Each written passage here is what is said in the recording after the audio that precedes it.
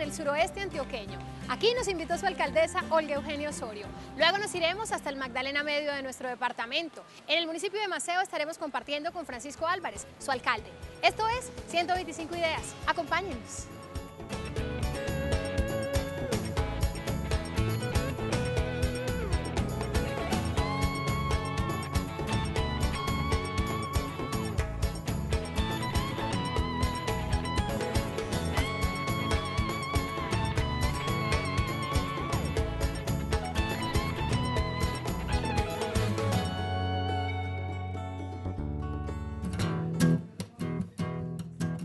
Humano normal, común y corriente, que tuve una fortuna muy grande de haber nacido en uno de los lugares más lindos de Antioquia.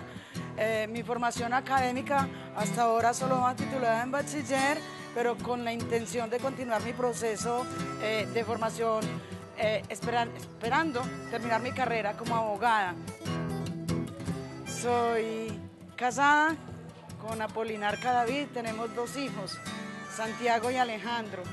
Tengo la fortuna que Dios me dio de poder compartir con ellos demasiado y todos vivimos acá en Salgar actualmente. Yo soy Olga Eugenia Osorio García, alcaldesa del municipio de Salgar.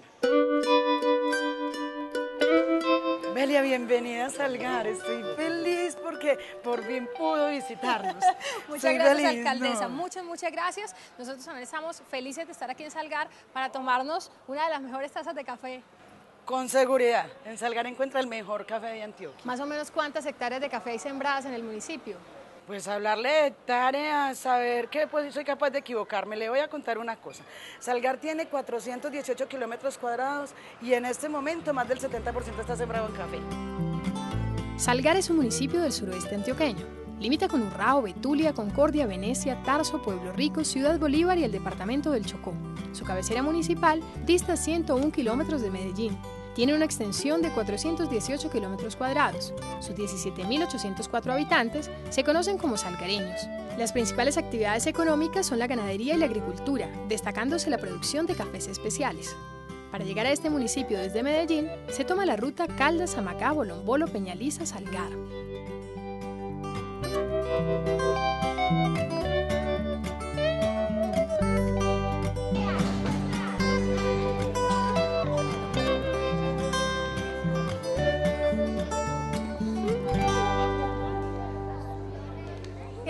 ¿Qué va a tener aquí el Parque Educativo Alcaldesa? Bueno, la propuesta de nosotros siempre será que el parque educativo tenga, eh, digamos, algunos puntos estratégicos donde se puedan desarrollar actividades culturales, lúdicas, un punto de encuentro para los docentes del municipio que no tienen nunca donde encontrarse aparte pues, de sus De su propios escenarios, de su institución.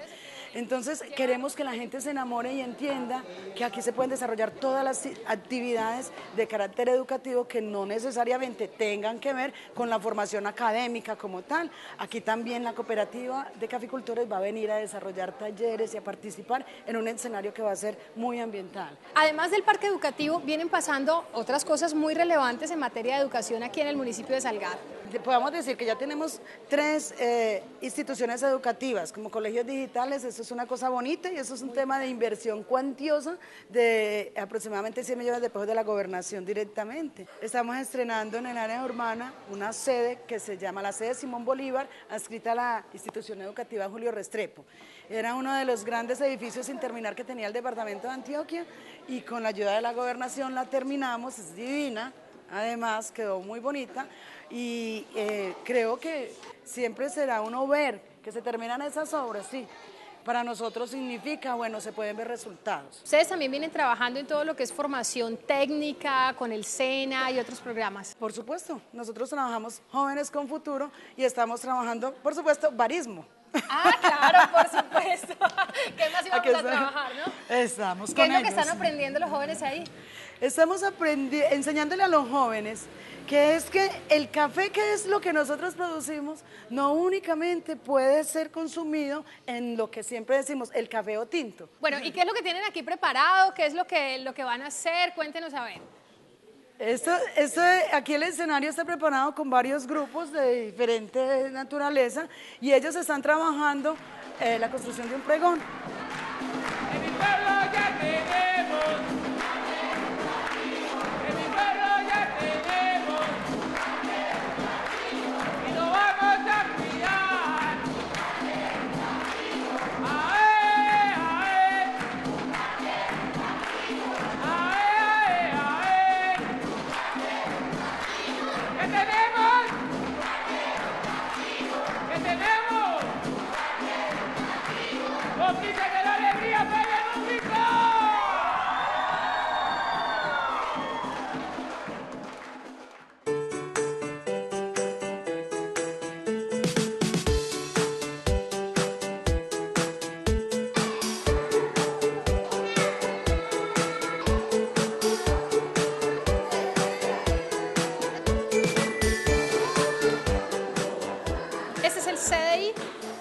Centro de Desarrollo Infantil La Praderas. ¿Cómo están ustedes avanzando en ese proceso social? Pues, pienso que a pasos agigantados gracias a la buena propuesta social que es de cero a siempre, porque eso es definitivo para poder lograr este salto tan grande. Hicimos la evaluación de cómo se estaba manejando el proceso de primera infancia y encontramos que aunque acá se está atendiendo muy bien, habían 482 niños sin atención en primera infancia. Así que entonces tomamos una decisión, pero así de radical, para ser consecuente con el proceso del gobierno nacional y decidimos eh, apostarle a una ampliación del centro, que con la ayuda de la gobernación eh, van a ver lo que significa el proceso de lo que va a seguir, con una intención inmediata de eh, empezar la atención lo más pronto posible, mínimo de otros 50 niños a través del CDI. Para ampliar la cobertura. ¿Cuánto cuesta? ¿Cuál es la inversión que están haciendo para esta ampliación? Inversión, 389 millones de pesos, de los cuales la gobernación nos aportó 100 millones. Y entonces está en que ampliamos el centro y algo de dotación, porque le estamos apostando como tiene que ser a fortalecer todo el esquema educativo y de salud de lo que para nosotros es la base la primera infancia. Eso no tiene discusión y por eso me parece divino poder trabajar en este tipo de proyectos. Claro que sí, pero no solamente están atendiendo la primera infancia, los jóvenes, los adultos mayores también. Todo, lo estamos atendiendo, mira. Para nosotros el Centro de Protección del Adulto Mayor es divino. Eh, empezamos a entenderlos a ellos desde un espacio donde eh, era, no es únicamente un asilo, es una casa donde ellos se sienten felices. Ahora, cuando revisamos qué estamos haciendo con los jóvenes de todo, se les abrió todo un panorama de posibilidades con una intención de que sea aquí mismo en Salgar, que no se tengan que ir, que cuando vayan a salir sea a pasear, pero que para seguir viviendo bien se queden acá y por eso estamos formando demasiado y estamos atendiendo mucho todo el esquema.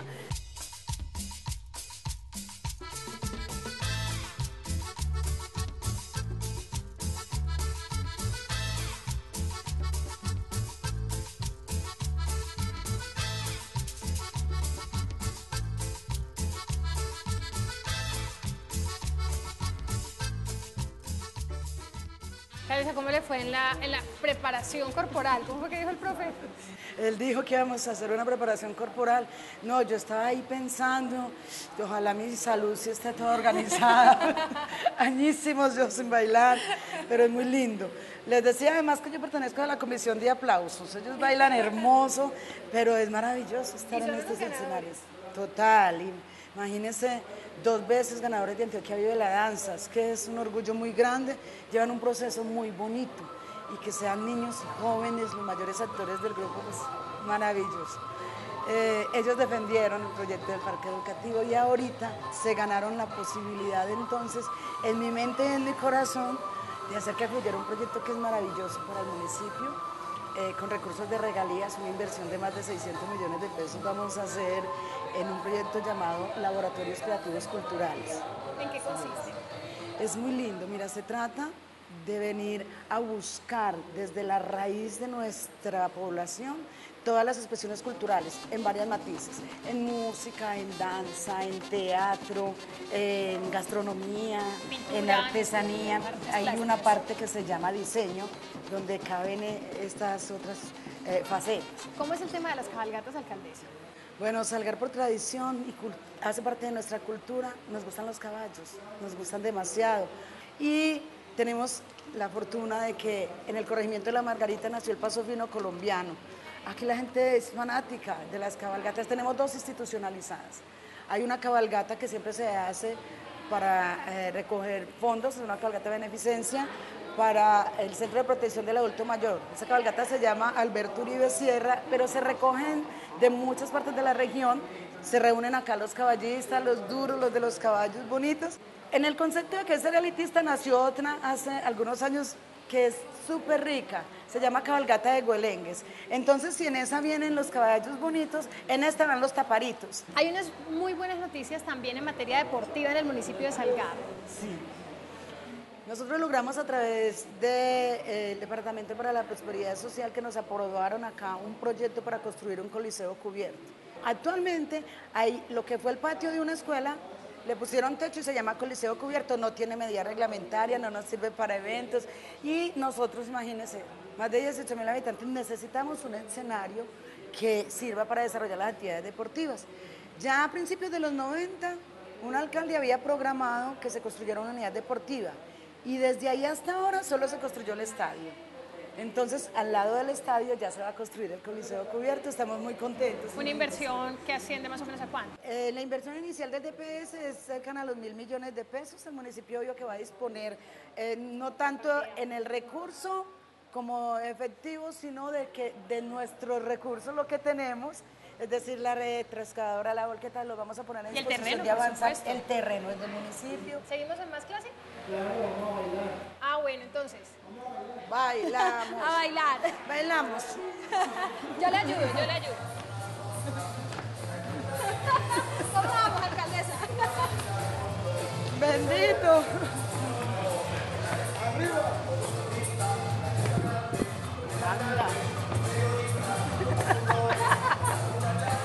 Ay, mi querido.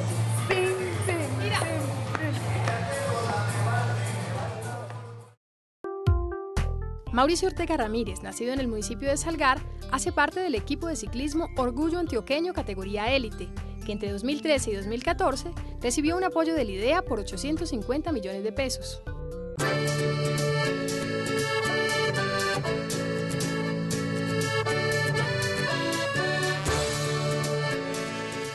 Alcaldesa, ¿este parque tiene nombre? Este parque sí tiene nombre.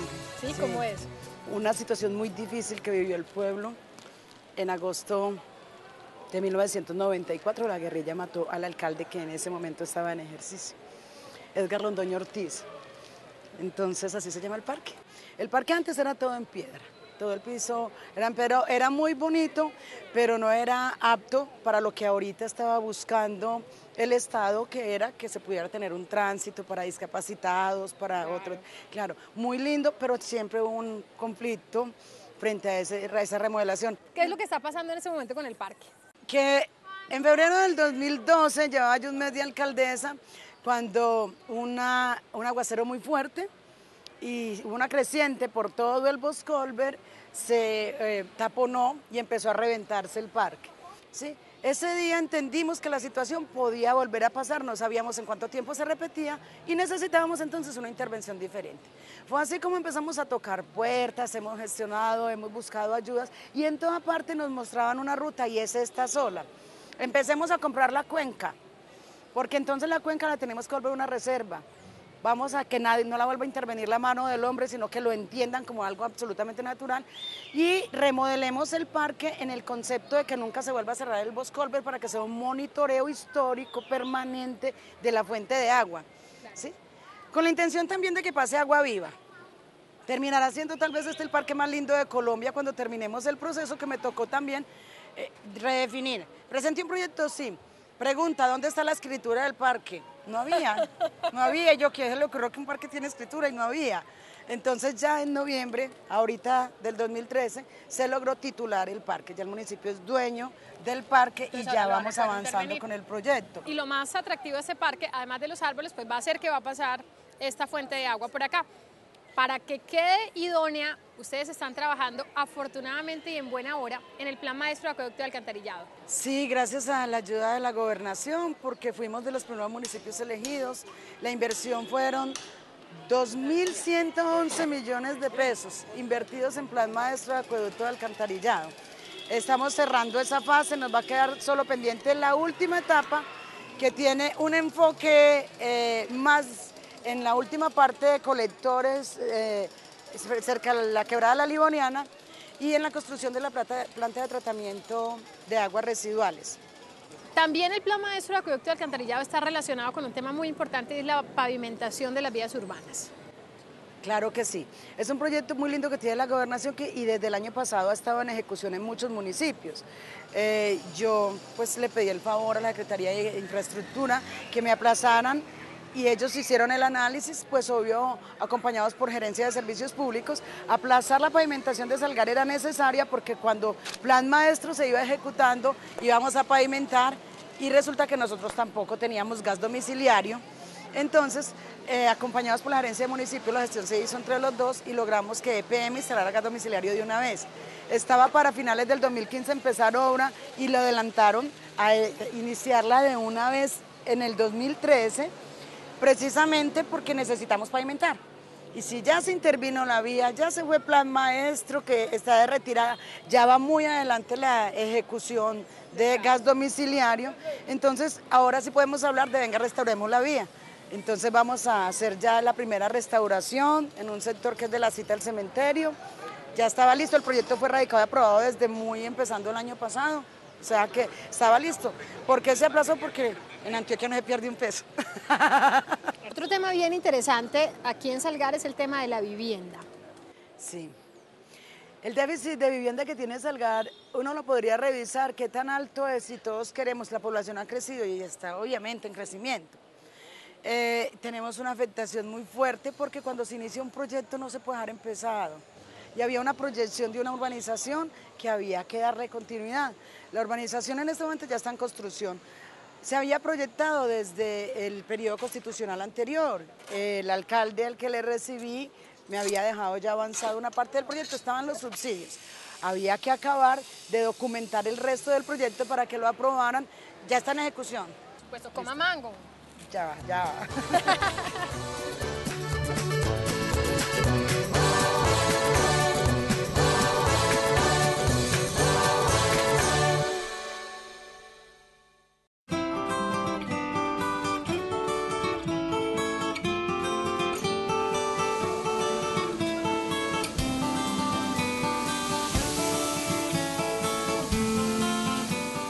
vamos a hablar de lo que a mí más me gusta hablar en la vida, de café.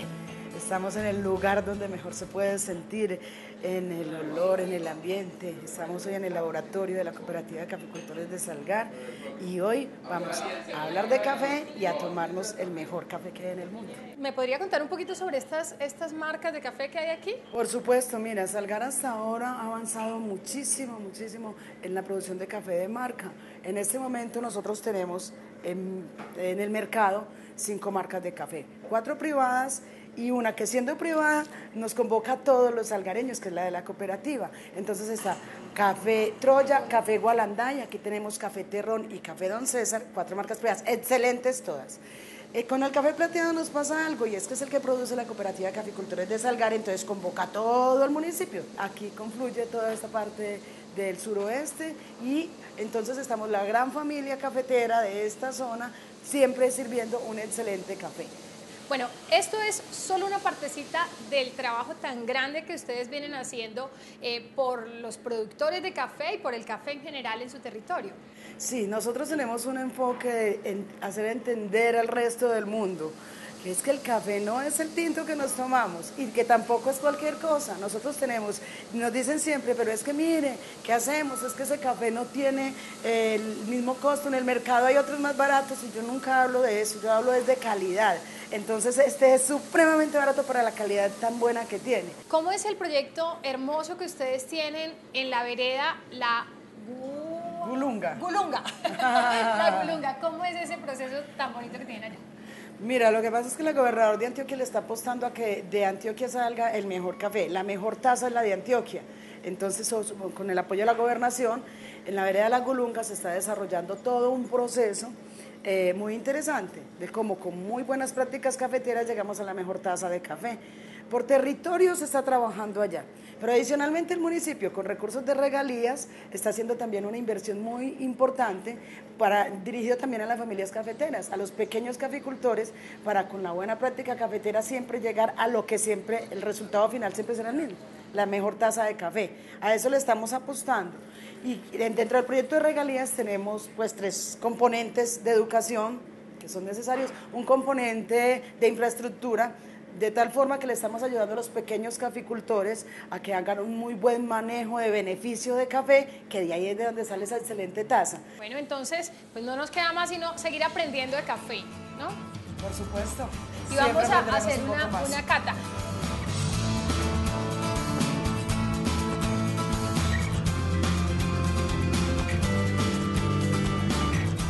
La forma correcta de, probar un café es absorber, para que la bebida llegue en forma de spray a todas las papilas gustativas y se pueda identificar todos los atributos o defectos si es el caso.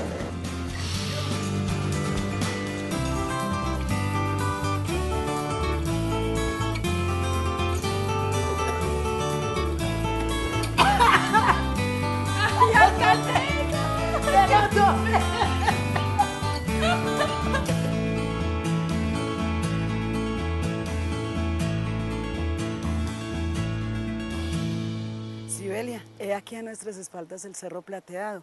Finalmente, para nosotros es un orgullo, un referente turístico además. Existen muchas personas, les gusta el turismo ecológico, yo los entiendo, que les gusta subir hasta allá a una altura de más de 3.000 metros, para mí es ya suficiente, pero eh, queremos seguirlo promocionando, porque consideramos que tenemos que conservar lo que para nosotros dentro de poco va a ser un páramo. Bueno, y tienen un trabajo muy especial alrededor de la conservación. Por supuesto, todo esto hace parte de un distrito de manejo integral que esperamos con la ayuda de Corantioquia que dentro de poco esto sea un páramo porque hace parte de todo el corredor biológico del suroeste. Entonces para nosotros es muy importante tener este referente, pues ahí habitan en toda esta región osos de anteojos, ciervos, hay un especies vegetales muy, lindo, importantes. Total, hay frairejones, por ejemplo, allá los encuentran. No nos podemos ir sin la foto. Ni más faltaba. Bueno, eh, cambiamos de lado para yo poderla tomar así, para que nos la tomemos. Eso. Que se vea el cerro plateado. La gobernación de Antioquia invierte 800 millones de pesos en el mantenimiento de cuatro instituciones educativas y un centro educativo rural en el municipio de Salgado. Para mí la familia es, lo único que es clarísimo, es lo único donde uno siempre tiene apoyo. Eh, yo pertenezco dentro de mi rol familiar con hermanos, somos nueve. Entonces aprendimos a tener una hermandad enorme, somos muy amigos todos y entonces aquí que ya es la casa, en mi núcleo familiar con mi esposo y mis dos hijos, está toda la parte importante de lo que siempre será antes y después de ser alcaldesa mi vida.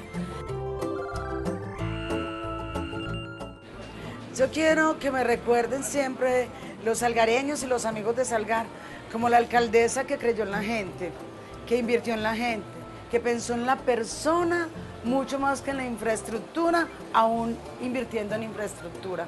No importa cuál sea el nivel de dolor que tengamos, es la gente la que necesita el edificio que no importa cuál sea. Desde el suroeste hasta el Magdalena Medio, 147 kilómetros separan a Salgar de Maceo,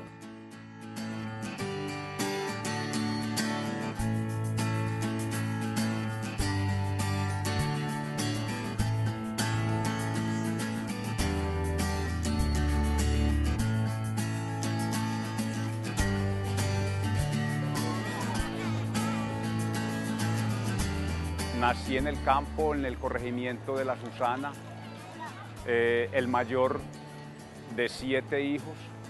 Mi bachillerato lo hice en el Seminario Menor de Medellín, un hombre que ama, quiere el campo.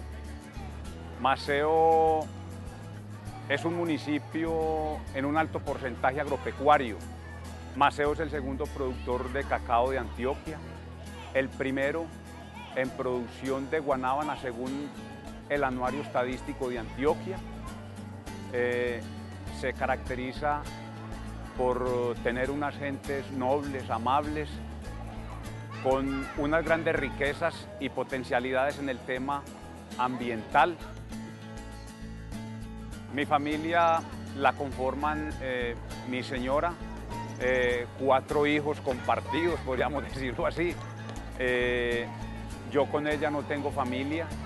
Eh, ella tiene dos hijos, dos hijas de su matrimonio y yo tengo también dos hijos de, de otra relación. Yo soy Francisco Álvarez, alcalde del municipio de Maceo. Alcalde, muchas gracias por esta invitación a Maceo. Bueno, Belia, con mucho gusto. Muchas gracias a ti por estar acá en, en Maceo, este pueblo de tierra de ensueño, lindo rincón tropical. Así es. Alcalde, ¿cuántos corregimientos tiene Maceo? Maceo tiene tres corregimientos, ¿Cuáles son? La Floresta, La Susana y Puerto Nuz. Maceo es un municipio del Magdalena Medio. Limita con Yolombó, Puerto Berrío, Caracolí y San Roque. Su cabecera municipal dista 136 kilómetros de Medellín. Tiene una extensión de 436 kilómetros cuadrados. Sus 7.102 habitantes se conocen como maceitas. Las principales actividades económicas son la ganadería y la agricultura, destacándose los cultivos de yuca y caña. Para llegar a este municipio desde Medellín, se toma la ruta Bello Copacabana, Girardota, Barbosa, Porcecito, Cisneros, San José del Nus, Maceo.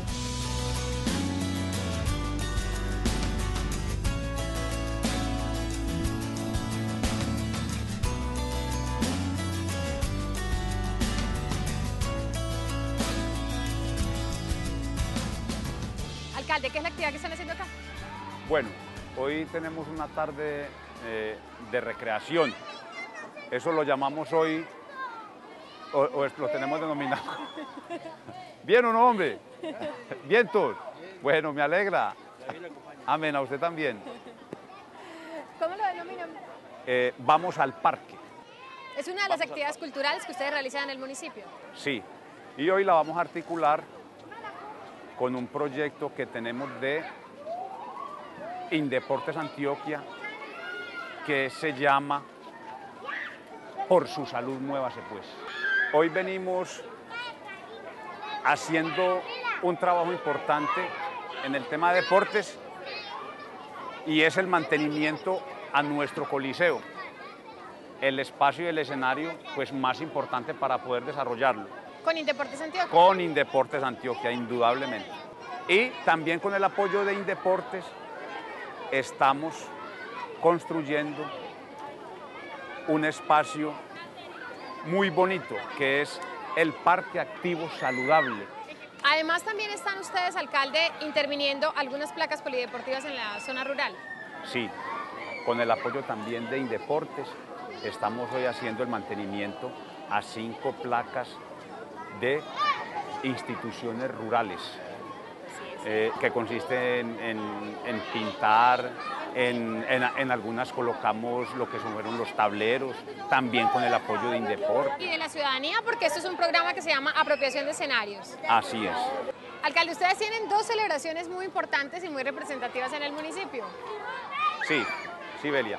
Tenemos el reinado del periódico, que son las jóvenes que participan, eh, hacen unos trajes de periódico muy lindos y pues aquí hay un jurado calificador y, y escoge pues como eh, el más ambiental, es buscando ese tema.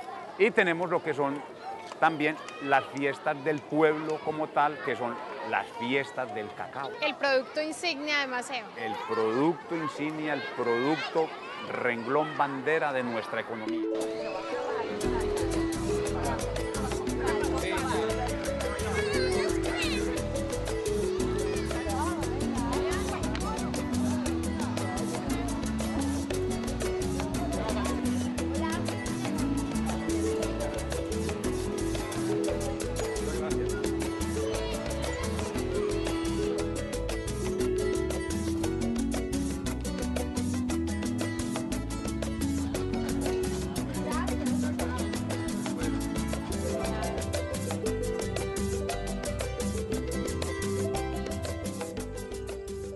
Quedar entonces la vivienda de, de Coco.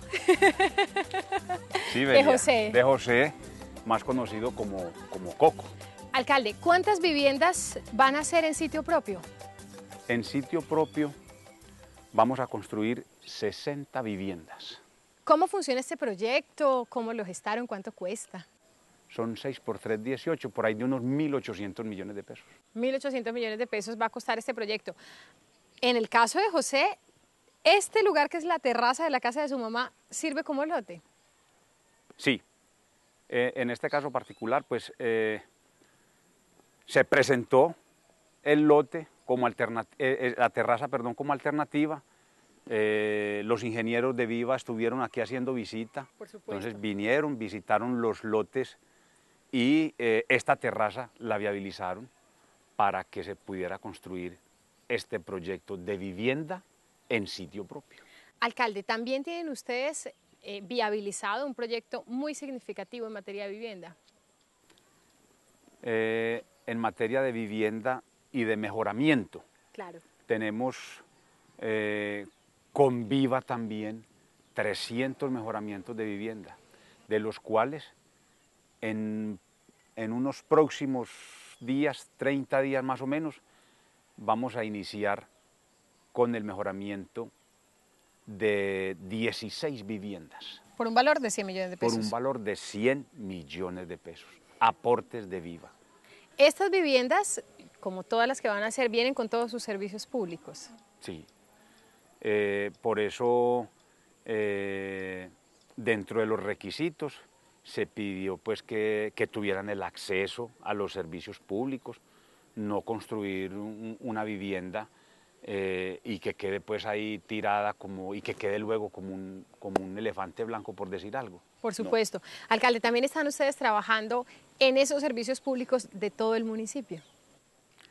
Sí, hoy estamos con un proyecto muy importante que es el Plan Maestro de Alcantarillado con recursos del plan departamental de aguas. De aguas vamos a construir eh, el porcentaje que está haciendo falta para dar cubrimiento al 100 de el alcantarillado urbano. Alcalde, ¿y cómo es lo de la Vía La Susana? Aprovecho y le pregunto de una vez. Claro. Bueno, la Vía La Susana eh, es uno de los corregimientos nuestros con más producción ganadera. y el más distante del casco urbano. Y el más distante del casco urbano, 24 kilómetros. Entonces eh, se hizo un mantenimiento de esta vía uh, a través de Rentan. Empresa de la IDEA. La empresa de la IDEA. Convenio con infraestructura del departamento. Exactamente, donde ellos nos aportan eh, la maquinaria y nosotros únicamente voluntad. eso es muy importante, eso es tal vez lo más importante, voluntad del departamento y voluntad del municipio. Bueno, y la casa de, José, José o José, José. y la casa va a ocupar toda la terraza.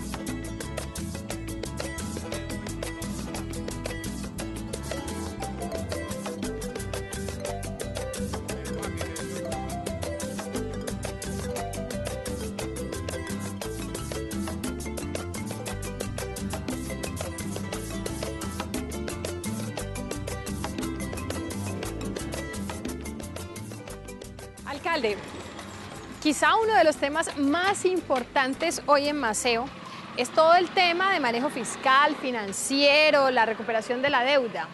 Sí, definitivamente, Belia, ese es un tema para Maceo y para nosotros muy importante, porque hoy el principal proyecto de inversión que tenemos es la reestructuración o el pago de deuda. Es decir, ustedes encuentran un municipio con una situación crítica, con mucha deuda, deciden acogerse a la ley 550, esto quiere decir, vamos a organizarnos, vamos a pagar lo que debemos. Eso es meterse a la ley. Es. Meternos en cintura, meternos en esas leyes, quiere decir eso, hombre, vamos a hacer un alto en el camino, vamos a replantear eh, eh, el norte y la mejor decisión que hoy hemos podido tomar es esa. Bueno, eso implicó unos acuerdos de pago. Sí, implicó hacer unos compromisos, unos acuerdos de pago. ¿Con quiénes? Con cada uno de los acreedores. No es una tarea fácil. Hoy, un municipio que nosotros habíamos recibido en el ranking después de una calificación que hace la Contraloría, ¿cierto? A nosotros nos evalúan. Vienen a hacer una auditoría, Maceo de 125 municipios en Antioquia, lo recibí en el ranking en el puesto 113, ¿cierto? Y después de un año, del primer año de gestión, Maceo hoy está en el puesto 35, ¿cierto? Ni que explicar. Ni, ni que explicar, ¿cierto? Absolutamente. Ni que explicar. total. También pasaron a cumplir la ley 617. Y pasamos también a cumplir el S17, pero yo quiero darle otro datico muy importante y es el ranking a nivel nacional, ¿cierto? que a nosotros también nos viene y nos califica la Contraloría General de la República. Maceo, después de nosotros recibir en el puesto 1035 de 1123, la calificación que obtenemos es en el puesto a nivel nacional 252. Muy bien, eso sí está para chocar una 5. Exactamente, exactamente.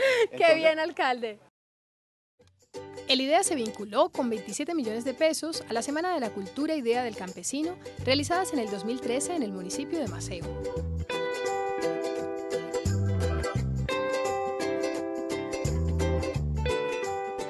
Alcalde, se duerme muy bueno en Maceo. Sí, en Maceo se duerme bien, un buen clima, Muy agradable. entonces favorece. Y hoy estamos en la institución educativa. Filiberto Restrepo Sierra, sede C. ¿Y cuáles son esas acciones chéveres e interesantes que están transformando la educación actualmente en el municipio? Bueno, este es un proyecto eh, que no es de infraestructura, porque por lo regular la gente dice, bueno, ¿dónde está el cemento? ¿Dónde está la infraestructura? Este es un proyecto de audiovisuales donde le hemos querido, que hemos querido empoderar a los jóvenes de las noticias, sobre todo positivas del municipio. Bueno, y es tan significativo este proyecto que está marcando un nuevo espacio que va a tener el municipio, que además es la mejor noticia en materia de educación. Así es. Es el único parque educativo que va a tener un espacio para los audiovisuales. Y es este de Maceo. Genial. Hablemos un poquito del parque educativo alcalde, ¿dónde va a quedar? ¿Tiene nombre? Eh, el parque educativo eh, se va a construir donde funcionó hace mucho tiempo una cárcel, ¿cierto? Entonces, eh, vamos a tener un contraste totalmente diferente, ¿cierto? Así es. Donde había la represión, eh, hoy vamos a tener un espacio de libertad, un espacio de aprendizaje, de emprendimiento, de encuentro. Se va Yo- a escribir una nueva página. Se va a escribir una nueva página en ese espacio que, que- que es triste, es, es- es- es melancólico. ¿Cómo va de avanzado el proceso? ¿En qué etapa van? Eh, pues avanzado, yo digo que este es un tema que lo viene manejando prácticamente la gobernación. Entonces ellos nos van poniendo tareas y nosotros a medida que nos van exigiendo, pues deb- debemos de ir cumpliendo. Había que desalojar, está desalojado porque habían algunas cosas y ya ahora en, en marzo se inicia, se tiene un cronograma de iniciar lo que es la demolición. Además del parque educativo, también se está transformando la infraestructura de las instituciones educativas aquí en el municipio. Sí, Eh, específicamente en esta institución educativa estamos construyendo eh, un espacio de ocho aulas eh, que estamos terminando precisamente con recursos de la gobernación. 400 millones que están ya viabilizados y que están en contratación para terminar esta institución educativa. Alcalde, cuénteme sobre esa alianza público-privada que tienen para hacer más saludables los centros educativos rurales. Sí, eh, en buena hora hoy tenemos el apoyo de una empresa particular, yo no sé, la voy a nombrar, Gramalote. eh, Y una nos- fundación también. Gramalo- y una fundación, Funcoes, eh, que con el socio del municipio venimos desarrollando unos proyectos muy interesantes. Eh, como usted lo decía, eso hace parte del tema de escuela saludable y es en las escuelas rurales estamos eh, construyendo lo que son las estufas eficientes para cada una de las escuelas. Cada una de esas escuelitas va a tener un filtro purificador de agua. Eh, estamos entregando 550 kits escolares, morral, cuadernos, eh, diccionario, en fin, las cositas elementales Y también estamos entregando 250 kits eh, de invierno. Estas sillas en las que estamos hacen parte de una dotación que recibieron ustedes también por parte de la gobernación. Claro, recibimos 700 sillas de la gobernación. Ve, aquí está el loguito. Antioquia la más Antioquia educada. la más educada. Bueno, vamos a ver entonces qué tan preparados están para cuando tengan esa aula en el parque educativo.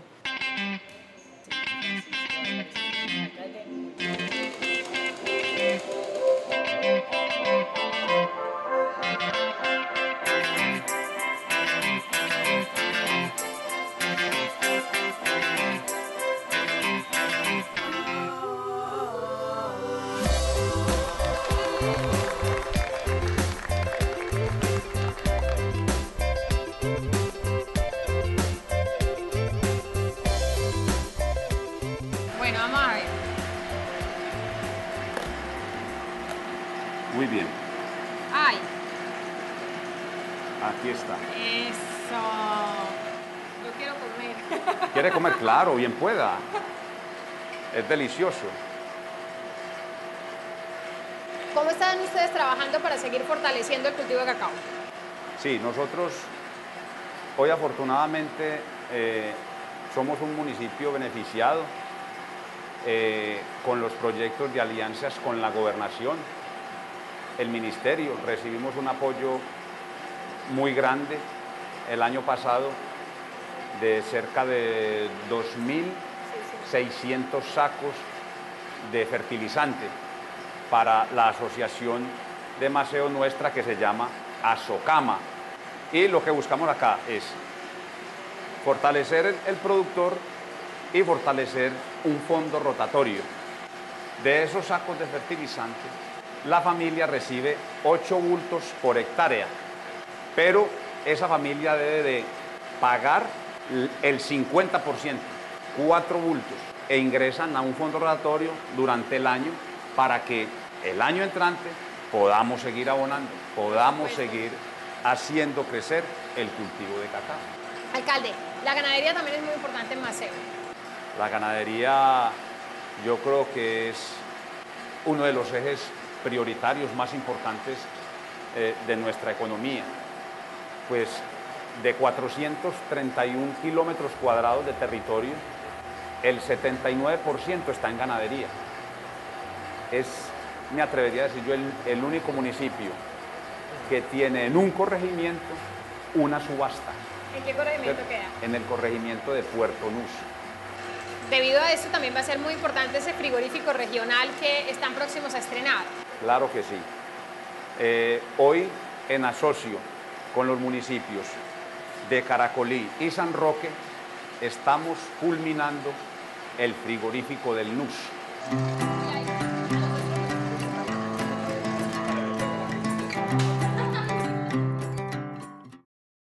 La gobernación de Antioquia invierte 400 millones de pesos en el mantenimiento de la institución educativa Filiberto Restrepo y cuatro centros educativos rurales del municipio de Maceo.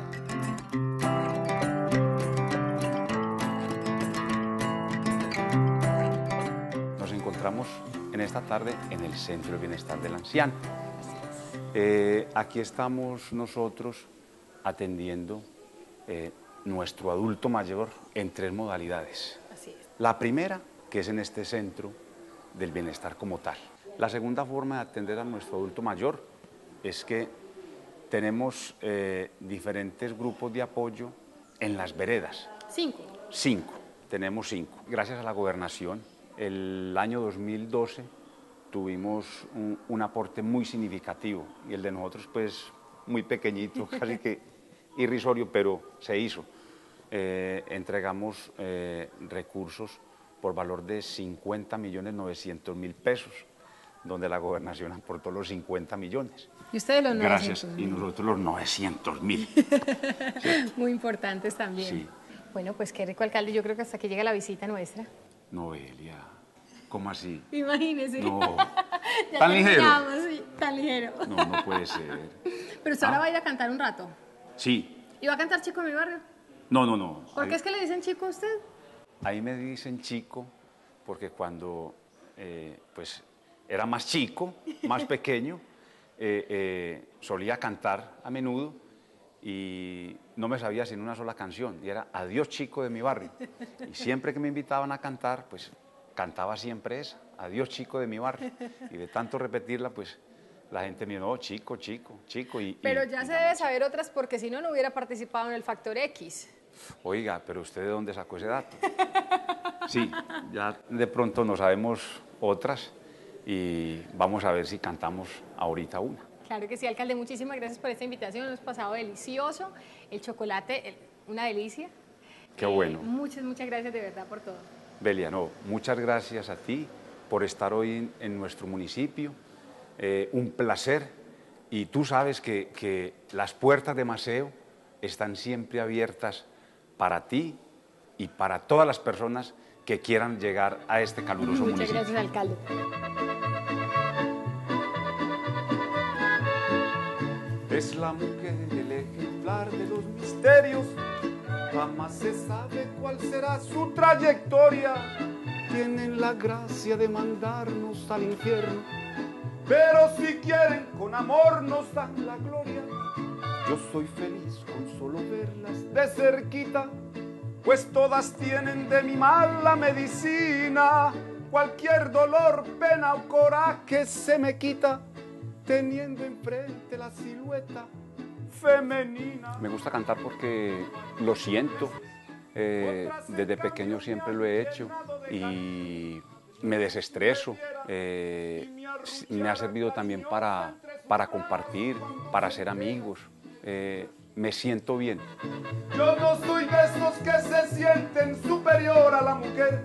Yo me declaro. Eh, yo quiero que me recuerden como el alcalde que inició un proceso para recuperar la viabilidad de un municipio y por ende la viabilidad de una comunidad donde se puedan brindar mejores oportunidades de vida y de desarrollo que por amor no haya llorado. Gracias por habernos acompañado en este recorrido por el municipio de Salgar de la mano de su alcaldesa Olga Eugenia Osorio y aquí en el municipio de Maceo donde nos invitó su alcalde Francisco Álvarez. Recuerden seguirnos en las redes sociales del Instituto para el Desarrollo de Antioquia IDEA y escribirnos al correo electrónico 125ideas.idea.go.co para que conozcan más de lo que está pasando con los alcaldes y las alcaldesas de Antioquia. Hasta pronto.